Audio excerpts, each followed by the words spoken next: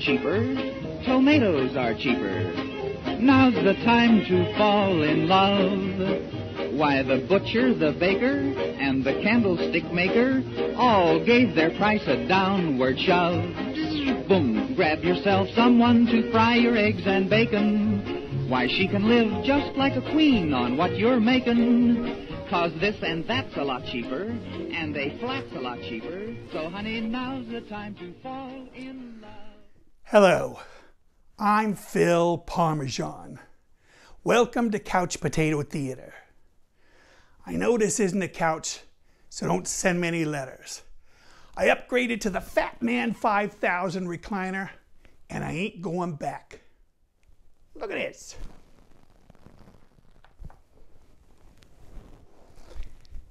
Now I know where my drink is, even when the lights are dimmed.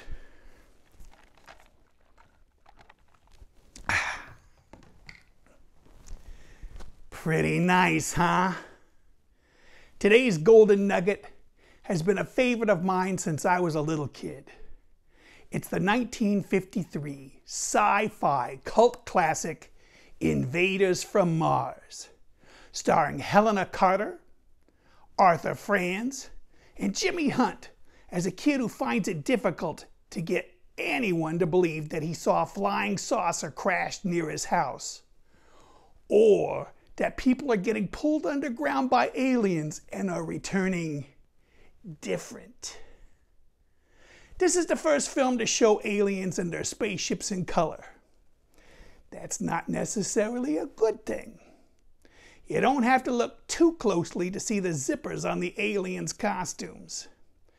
And those costumes were made by Norma. I suppose if I made Martian costumes with zippers in the back, I'd neglect to tell people my last name too. If you're a fan of classic TV shows, you're gonna see some familiar faces in this movie. First is David's mother played by Hillary Brooke. Although she appeared in several movies, she may be best remembered from the Abbott and Costello show. Dr. Kelston's secretary is Barbara Billingsley, who played June Cleaver on Leave It to Beaver. Finally, Captain Roth, the expert on electronics, is Milburn Stone, who played Doc Adams on Gunsmoke for 20 years.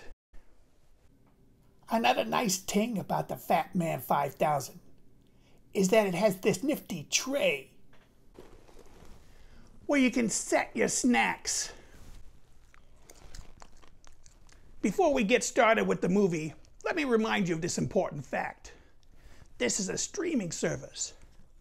That means at any point in time, you can pause the movie, go to the kitchen, get yourself a drink, pop some corn, open a bag of chips, order yourself a meatball sandwich. Hey, I don't judge. Once you're ready, hit the play button, turn down the lights, and enjoy. Stick around after the movie for a little bit more information about the film. Here's 1953's Invaders from Mars.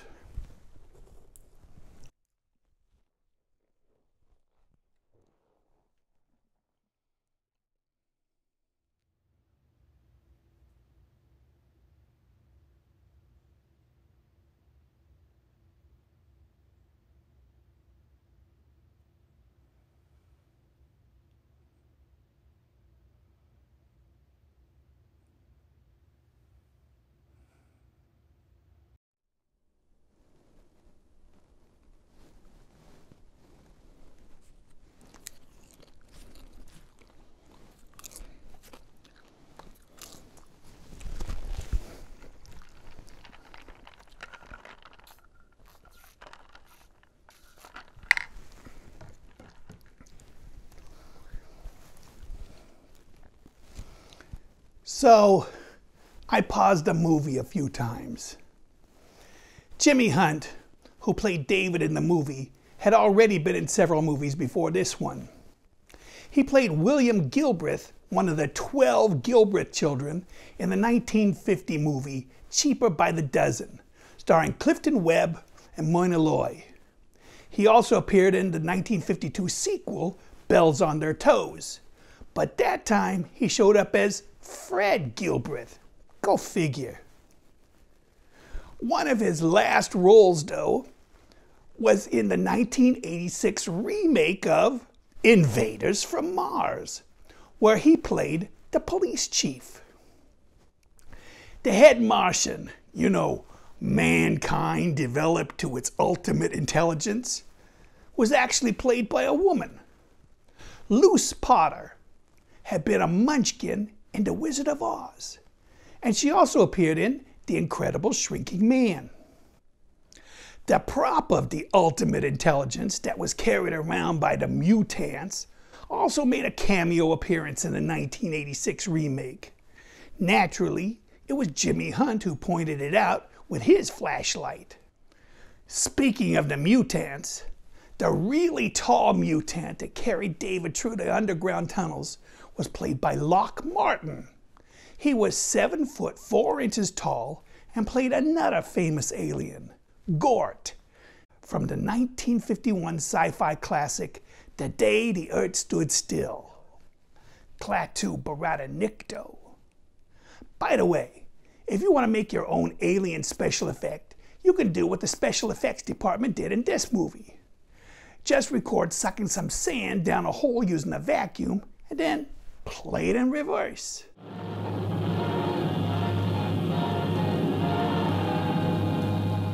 Of course, it won't be as creepy as it was in this movie unless you add an eight man, eight woman choral group chanting weird music like they did here you can do another special effect even more easily.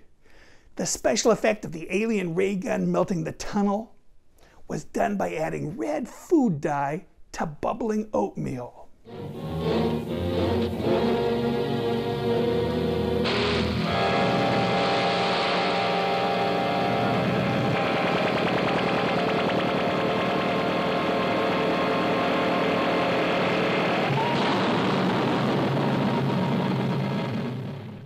Hmm. Oatmeal. Well, I got to be going. I decided some other business I really need to take care of. But come back real soon and join me, Phil Parmesan, in another nostalgic nugget next time on Couch Potato Theatre.